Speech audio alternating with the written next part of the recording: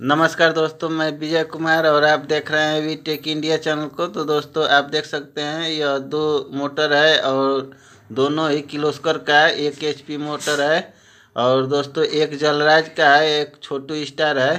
तो दोस्तों, इन दोनों में क्या अंतर है और आपको कौन सा मोटर लेना चाहिए, मैं इस वीडियो में बताने वाला हूँ। तो दोस्तों, वीडियो को लाइक कर दीजिए और चैनल को सब्सक्राइब कीजिए।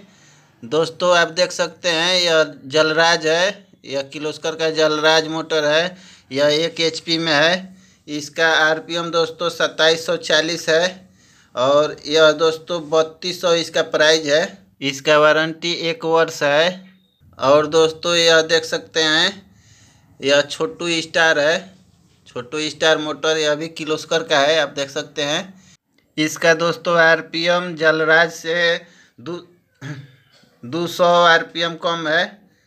और यह दोस्तों पच्चीस सौ आर पर यह चलता है। और दोस्तों इसका प्राइस भी दो सौ रुपये आपको कम पड़ेगा। यह तीन हज़ार रुपये इसका दाम है।